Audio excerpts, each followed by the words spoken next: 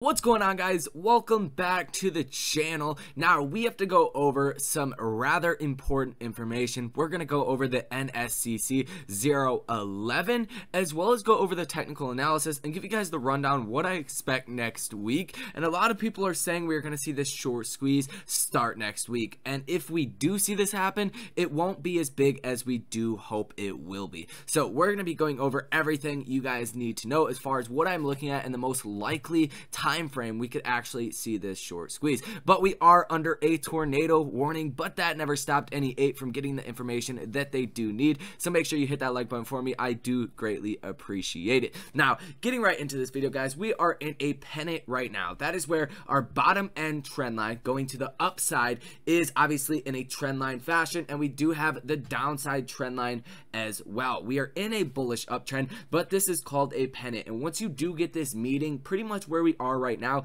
definitely throughout the rest of this week, you're expected to see a move, a break to the upside and go over this trend line or a break to the downside. Now, it's usually 50-50, but we do see a strong consolidation period. Obviously, we all know this in between about $50 and our major resistance level at $60 per share. So I do expect a break from the upside as long as we can stay above this really 52 to $53 support level. I will go ahead and mark this. Now, we are going to get into a lot of important things, but I do just want to point this out for anybody that is in doubt. We are very bullish, and this is going to be the story. I'm sure you guys are hearing it from other people as well, but I have an interesting take on this. Now, all the factors you do look at are for the positive of AMC. Even the Ortex data signifying that our short interest is going up exponentially. And yes, I say exponentially because even a 1% change is a big deal when you're talking about millions and millions of shares. Currently at 18.67%, current uh, amount of shares that are sold short of 95.45 million. Now, we are seeing shorts that are increasing their short positions. They are either doing one of two things or maybe a mix of both. And like I pointed out with the average days on loan, the reason we are seeing this going down and currently at 31 days is the average time on loan, which does put us at about 12 to $14 range. This is simply because a lot of older shorts either are covering their positions and we're seeing additional shorts coming in at these levels and shorting, or the most likely uh, scenario out of the two is that shorts are just continuing to double down on their positions. Now, bigger hedge funds like we know Citadel Citadel has a short position on AMC, which we will get into later into the video. But firms like that that have more capital available at their disposal are able to stay in their short positions for a longer period of time and not be forced margin called because it's not the same for every single hedge fund or institution. Just because AMC were to were to double from here, yes, a lot of funds would be margin called and forced to put up extra collateral to stay in their positions or either cover their positions, but other larger hedge funds will be able to hold out longer. Something like Citadel with $407 billion under management, and we have done the calculations from their $58 million short position down about 950%, so they're down about $500 million, but that is still a drop in the bucket compared to their overall portfolio. Now, what I want to keep you guys informed about is potentially what I'm looking for, and it is this. If the stock market starts to go down. And AMC starts to go up, obviously shorts that are shorting AMC are going to be losing money once AMC does go up, but that collateral, that money that they are using from other stock investments will be going down at the same time. So that will be like a two-edged sword working against these shorts. And that I think will lead us into the actual short squeeze. And that is something very very important to keep in mind since we do have a lot of factors that are indicating that we could be going into a possible downtrend or a stock market crash in the next coming weeks weeks and coming months. Even now, I want to turn you guys' attention to the uh, DTC 2021 011, and this is about market disruption events. And it is quite interesting that we do have the stress test with the banks that just came out last week, potentially preparing for a 55% crash in the stock market. And you do have a lot of other factors from uh, people with significant importance when it does come to market events saying that we are going into a crash or correction. Now we have the DTC actually putting this into wording themselves. And they are not specifically saying we are going to go into a crash or correction, but they are preparing for this and giving investors a guideline of what to expect if this does happen. Now, market disruption events. This says Rule 38 market disruption and force majeure and major and force majeure rule contains provisions that identify the events or circumstances that would be considered a market disruption event, including, for example, events that lead to suspension or limitation of trading or banking in the markets in which DTC operates or the avail- unavailability or failure of any material payment, bank transfer, wire or securities settlement systems under the force majeure rule. During the pendency of market disruption event, DTC would be entitled to suspend the provision of any or all sources and take or refrain from taking or require members to take or refrain from taking any actions DTC considers appropriate to address, alleviate, or mitigate the event and facilitate the continuation of DTC's facilities as may be practicable. Now, when it does come to this, essentially, long story short, they are saying if one hedge fund or institution does default on their payments, they are not going to cause a tra- chain reaction to actually crash the DTC system and how they do operate with the clearing corporation. So they're essentially saying that if you are a part of this this hedge fund or institution that is having problems, you are essentially going to be on your own and you are not getting bailed out by the DTCC, the Department of Clearing Corporation. Now, with that being said, that does have some huge implications because we are seeing this wording come into effect as well as wording from obviously the Fed with their stress test preparing for the worst case scenario in their in their eyes which would be about late 2022 in the middle of 2022. This is only a circumstance. It's not saying it's gonna happen or is likely to happen, but I do think everyone would say that a crash or correction is overdue on a lot of uh, different variations and ways you want want to look at it from technicals, from the overall fundamental valuation of the stock market, and all the money that has been pumped into it, we are due for a crash or correction. So, like I said, essentially, this is saying you will be on your own and they will do whatever they have to do to stay up and running for the facility facilities that are not underwater and are able to participate in this. Now, that is pretty much all you guys need to know from this. That is the main point. And I didn't want to go too far into it because there's a lot of implications you guys can pull out. This means this, this means this, but that is essentially what it is saying.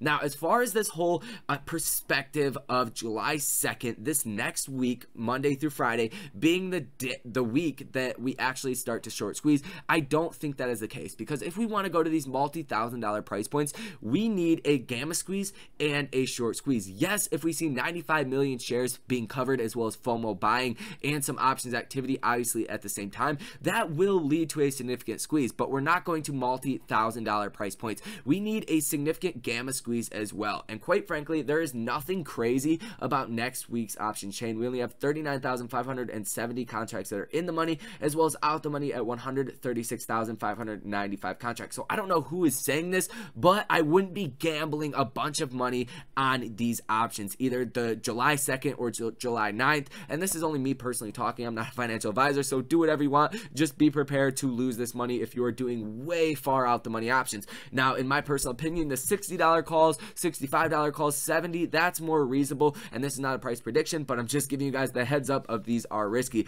But as far as the most likely week that I do see, just logically speaking here, from the options activity, as well as we do know the longer this does go out, the more short interest we're going to get, the more naked shorting that's going to be going on, the harder it is to borrow these shares or sell these shares short, the better off the squeeze will be. And when you add the option activity in, that is like the icing on the cake or the cherry on the sundae. Now, if we do look at this option chain for July 16th, we see 85,067 options that are in the money, 192,506 that are currently out the money. So that is going to be the next biggest expiration date up until this September 17th date, where we obviously have 121,000 that are in the money, 37,000 that are out the money. So I do think the most likely week to go to these high, high price points on AMC would be July 16th. Now, I do want to route your guys' attention back to the actual days on loan or, or the average days on loan. And back to what I was saying about some shorts either covering that were in this for uh, since the bottom, right? That essentially got the worst hand of all of this being on the sh short side or the losing side of AMC. But we are seeing new shorts piling in. So this is actually a great thing. If we can hold the line at these prices, a lot of shorts that are getting in at these prices in between that 50 and 60 dollar range. Once we get to about 70 80 90 dollars or even 100 dollars in between there you're going to see a lot of shorts that don't want to go down a thousand two thousand percent on their positions like these previous shorts had. So that's where you're going to see a lot of covering going on to try to mitigate losses as well as some hedge funds that are actually trying to protect their positions by selling these calls or selling these puts. That's where you're going to see a lot of hedging that is going on at these prices price points, driving us up higher than this. So the longer we do consolidate out, long story short, the more shorts that do pile into this, the better it will be. Now, I hope this lasts for another month or at least to July 16th so we can get this short interest back up over 20% because that is categorized as extreme short interest and that's ultimately the bigger and better the squeeze will be when it comes down to it. We need that short squeeze and the gamma squeeze at the same time as well as FOMO buying and obviously a lot of people rushing into contracts which just makes the market makers hedge even more with the delta hedging that they do do. But I do want to point you guys out something else that we're actually seeing more shorts shorting AMC stock as we do currently speak. Uh, this was uh, June 25th. So this was actually Friday, and we did have 42,000 uh, shares that were shorted, 76,000 that were shorted. That was by JP Morgan, and we're not seeing a lot of people actually covering their short positions. We still see Citadel, which shorted AMC stock at $6.16 with 5,676,200 shares that are staying in their position. And like I said earlier, that's for $58 million.